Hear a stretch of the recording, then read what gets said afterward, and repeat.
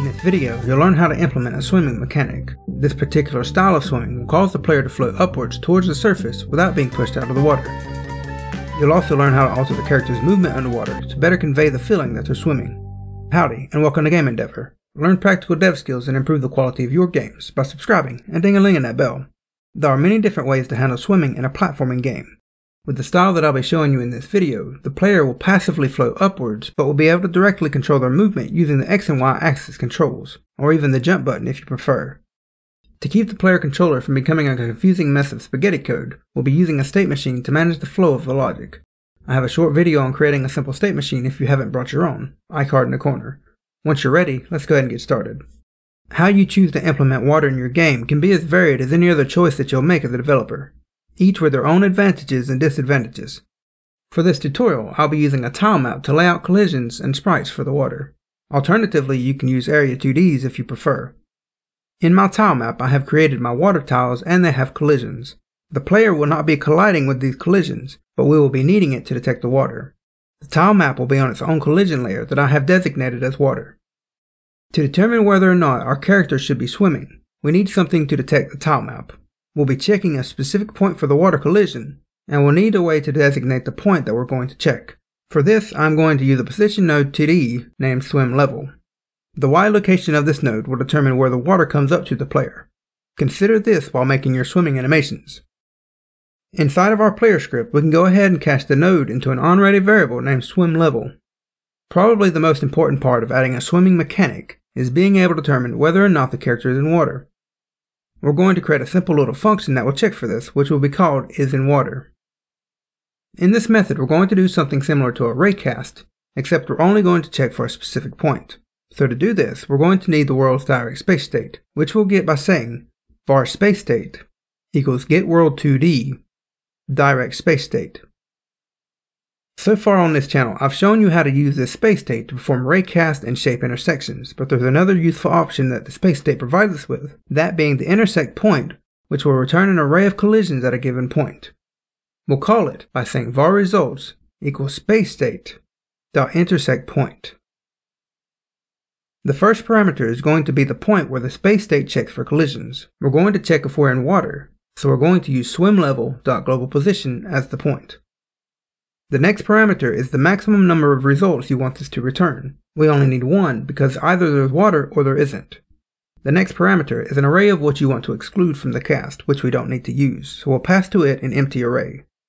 And then we have to pass in what collision layer we want to mask for when performing this point intersection. This will be what collision layer you set for your water. Personally, I don't want to use a magic number here. I would like to be able to see what layer I'm referencing. What I generally do with collisions is to make a script that stores them for me. So I'm going to make a script called collision layers, giving it a class name so that we can reference it anywhere in our project. We don't need to auto-load it since we're only going to be storing constants here. And the way we're going to set this up is by creating some constants for whatever collision layers we've defined in our game. We can use binary shifters to keep our values neat and clean, easy to maintain and read. When using binary shifters, the value on the right is what determines the layer for the collision. You can get this value by going to an inspector finding the collision layer property, hovering over the layer you want, and using the bit value.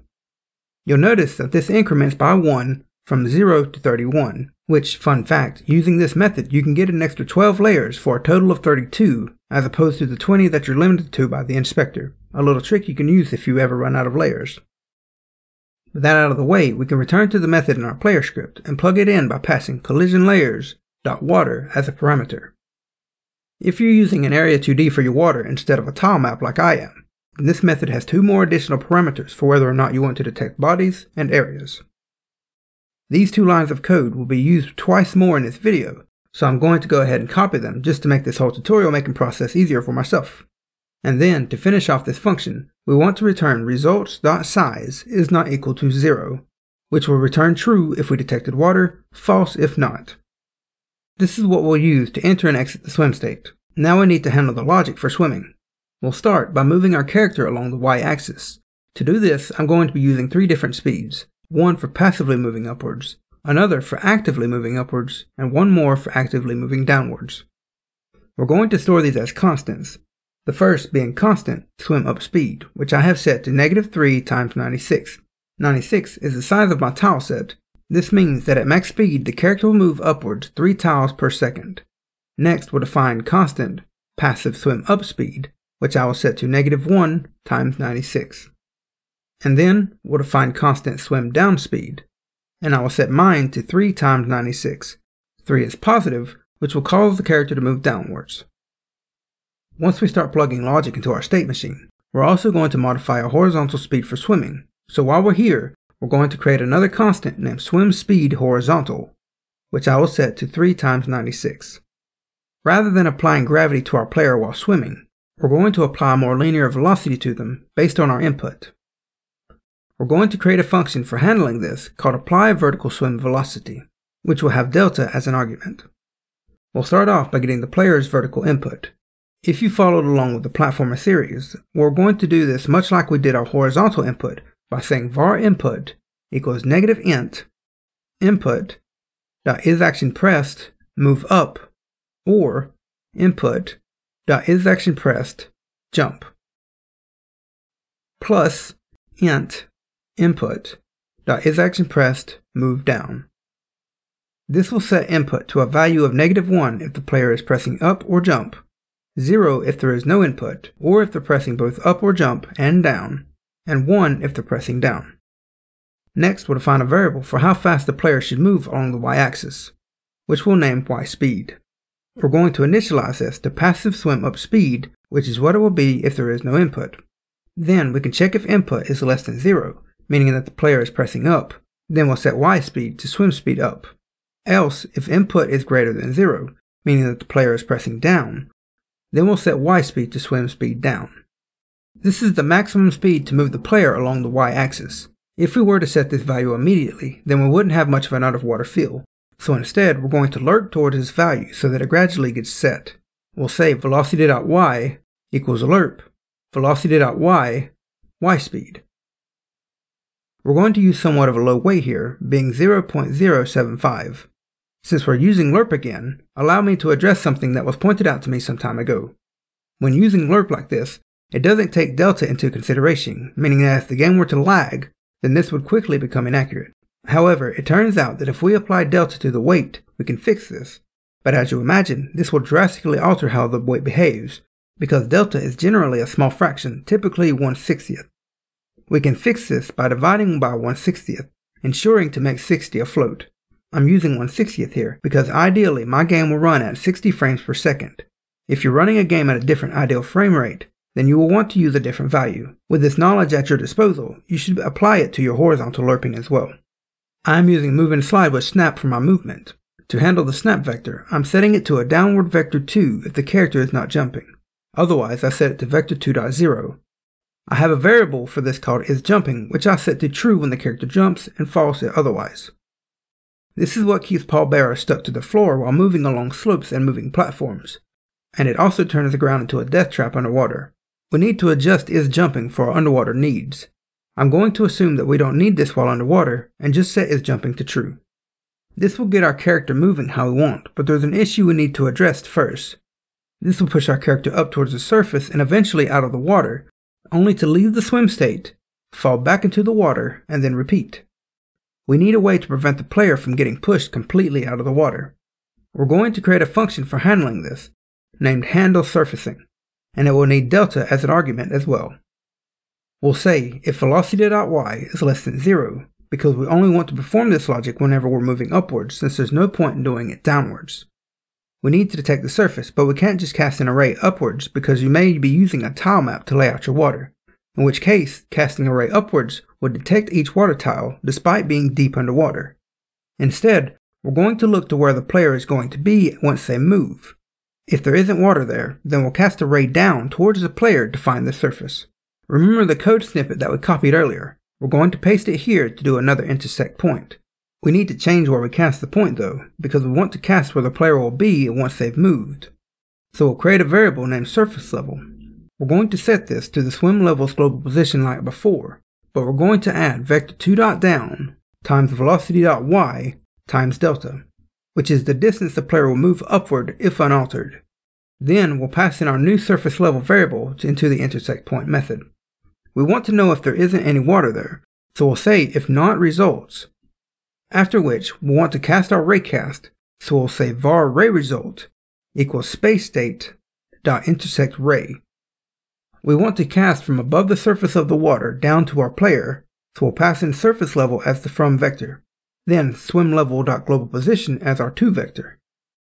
We don't need any exceptions, so we can pass in an empty array, and then finally we can use our collision layers dot water as our collision mask.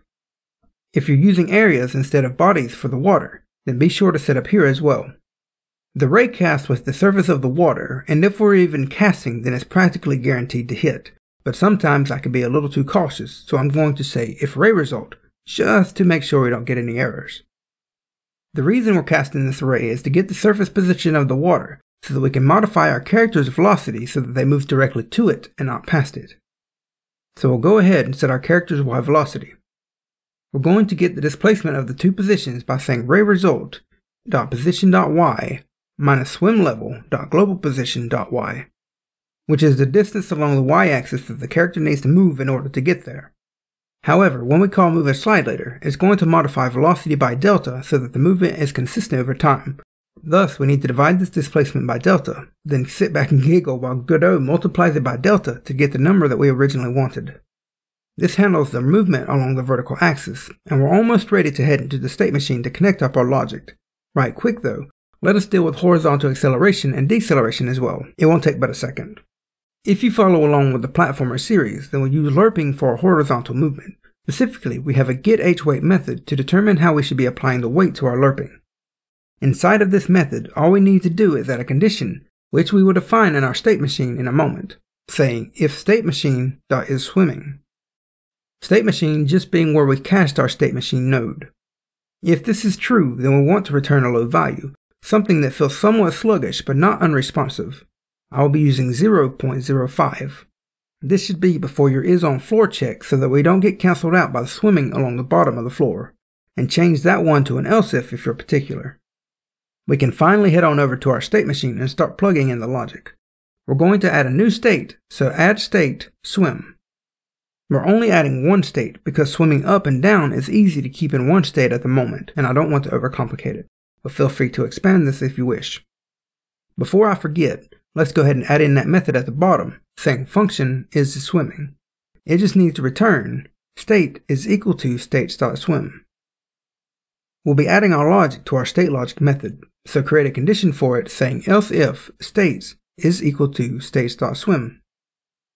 Inside of this if condition, we want to say parent dot handle movement, parent dot swim speed horizontal. Handle movement is the method in my player script that I use for setting the movement along the x-axis. It takes in a speed value, which is what allows us to slow the player down while swimming. We'll then say parent.apply vertical swim velocity.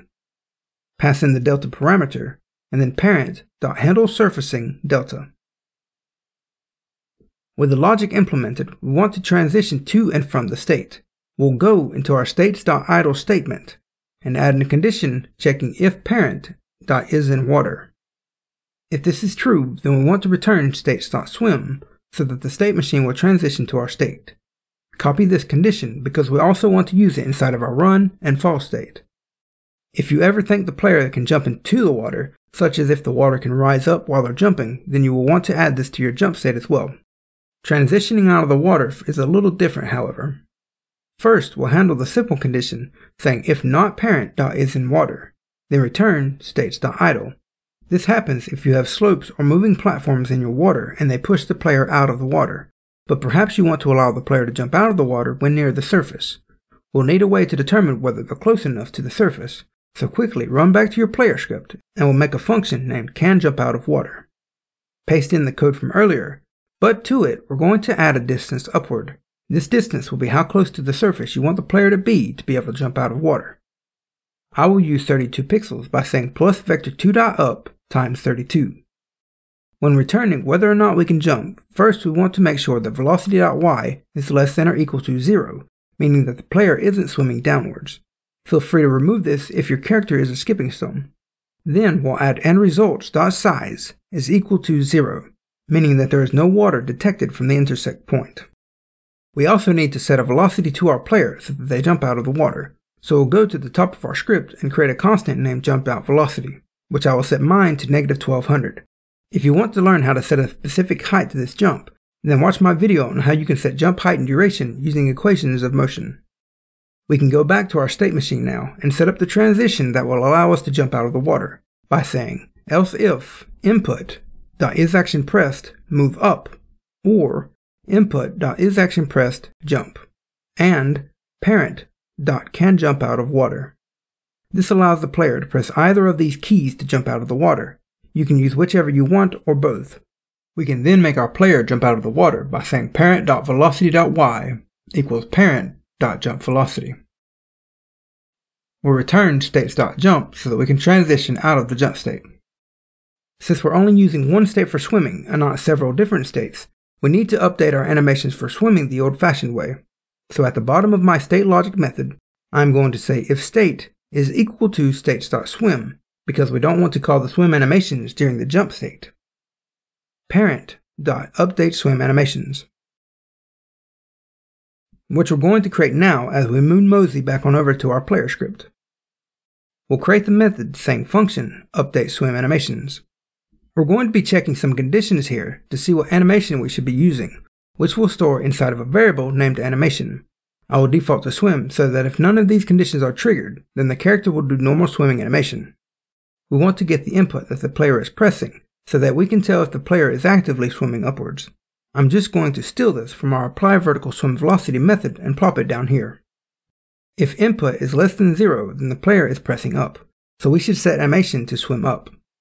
If you want to use a downward swimming animation, then you would want to add another if condition checking if input is greater than 0. I also have an animation for treading water that I would like to use, which is where the character is not moving and is floating near the surface. However, Due to issues with using lerping for movement in 3.1, checking if our velocity is 0 will not return true. Instead, we need to check if the absolute velocity of x is less than 64, which will check if the character is moving slow enough for our liking. 64 is a variable of my choosing. You'll need to play around with this for yourself to find out what is best for your game. Then we'll add to this and can jump out of water, which will ensure that our character is close enough to the surface to jump. If this is true, then we can set animation equal to tread water. Once we've picked our chosen state, we can set it to the animation player. But first, we'll say if animation player, the assigned animation is not equal to animation, which will check that it's not the current animation already. Otherwise, it will keep restarting the animation. Then, animation player dot play animation. If you want to learn more practical dev skills, then watch this video on implementing wall jumping into your game. And if you're new, then join the sub club to get notified for future videos.